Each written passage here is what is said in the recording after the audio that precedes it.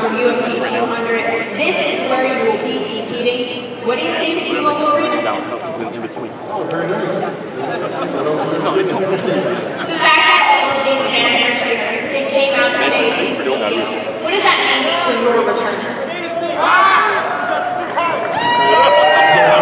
I appreciate you guys. and I, I just appreciate uh, thank you to be here. You know, I mean, it's, uh, I was on UFC 100, special honor to be here for 200. Um, it's a milestone for the company. It's a milestone for me. I'm still, uh, I'm healthy. I feel good. So that's what I want. We are glad to have you here. Before I open it up to media questions, obviously, a little bit of news last night. What was your reaction to the whole thing? Um, I just kind of everybody, but it is what it is. All right. Yeah, a few words. I like that. Media, do we have questions? Uh, here to your left. Um, obviously, you headline UFC 100. The turn of events in the last 24 hours is pretty crazy. What does it mean to you to now main event UFC 200?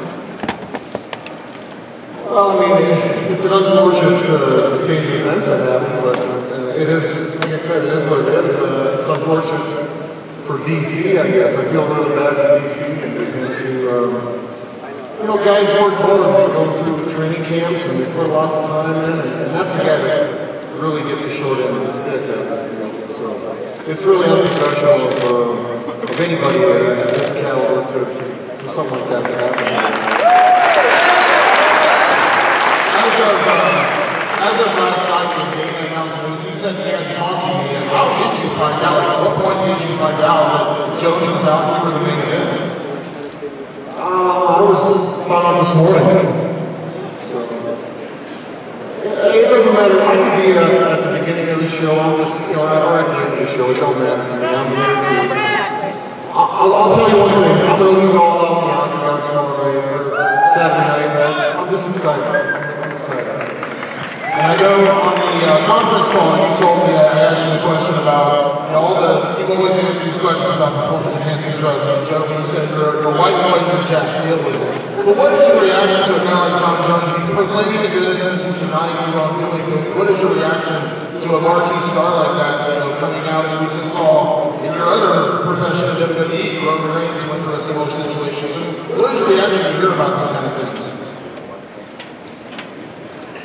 I mean, I said, it's it's, it's unfortunate, it's unprofessional, and and it's just the way it is. I mean, what else, can- what else am I gonna say? Uh, uh, Merry Christmas to Brock Lesnar. Rob, uh, last year when you were on ESPN, you did the miniature camp to test things and physically you were there, mentally you were not. Was it just the case of waking up one day? What was the change mentally that to, want to do this and think this happen? I'm a big believer in uh, life's all about timing. Things happen for a reason. And, I don't know, I just didn't feel things in my life weren't the way they needed to be at the time, I guess. It just, I woke up one day and um, many days I thought about getting back in the octagon. And um, it just was, it just felt right. You know, it feels right in here. I'm right here. And uh, I'm to leave all out there. Also this week, when you did the interview with Megan, you stated that the devil is in the details in regards to this deal coming to pass. Is this something that the WWE did approve, or was there language in your contract that did allow this option for you? I never refer to that to my attorney, I guess. I don't know. But I mean, it's, it's uh, I'm here, people, and it's, it's happening, and uh, I don't know, I feel fortunate that it's happening. I'm not going to go into detail. Why would I? That's my business, not yours. Brock, when you decided to make this comeback, you said, I know this is what you want to do.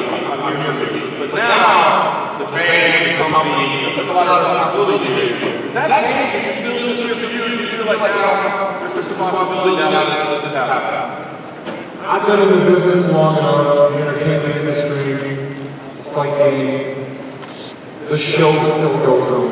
Alright, so regardless of where I'm at in the card, the show's gonna happen. I'm just thankful that I got through training camp healthy and I'm here.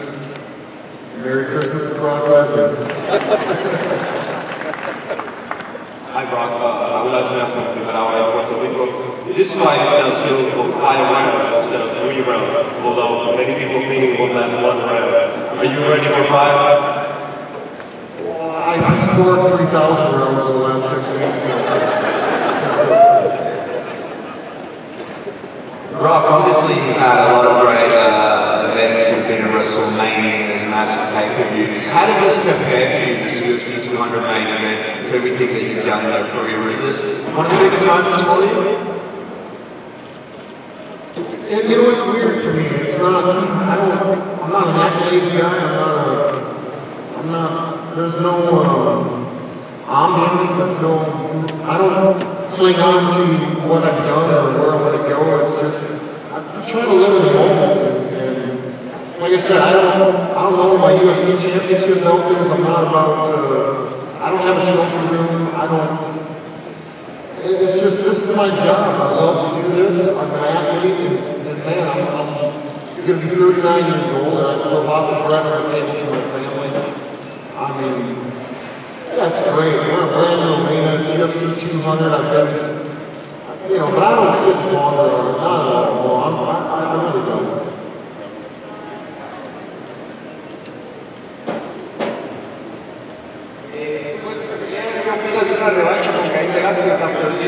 What do you think about the? In Mexico. Mexico City.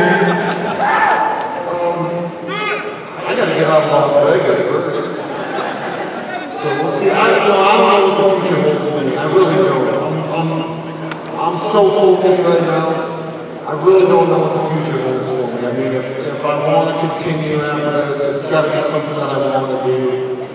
I don't know, you know, it's really, would I even ponder to think that far ahead? I mean, you can't put the cart in front of the horse at all. I've never done that, and I'm not about to do it to today.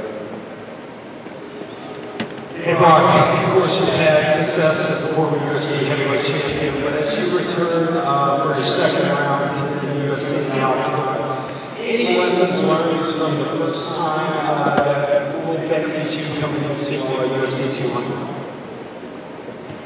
I think you take experiences from all the, all the things, uh, all of my previous fights, for sure. But I think one thing that, I, that I've been able to, to do this training camp is just be a little better uh, state of mind, you know.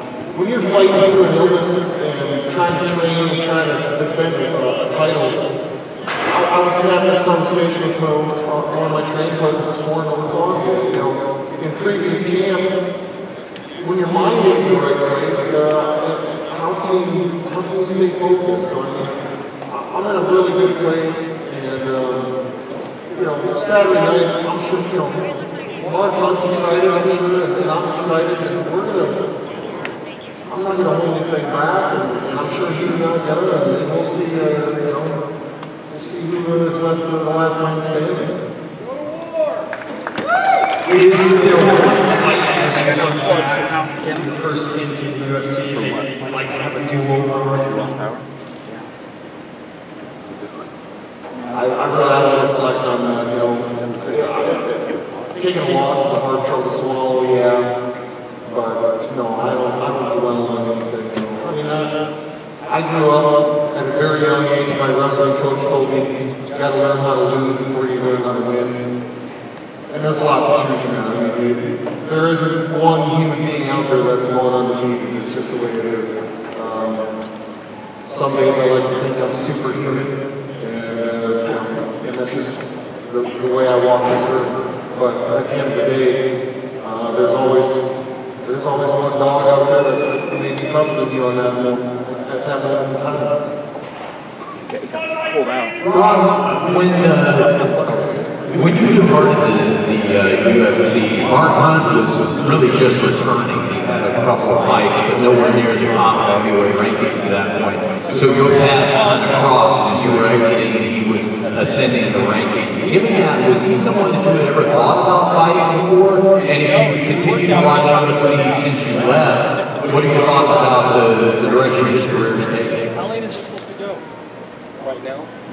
I have watched uh, I have watched UFC since since I left. Uh, obviously, I know who Mark Hunt is and was, and And, uh, no, I mean, I didn't know who Dana was going to present me with an opponent, but I think, uh, I think it's a good matchup. We got a heavy hitter versus a wrestler, and and that's, I guess we'll find out uh,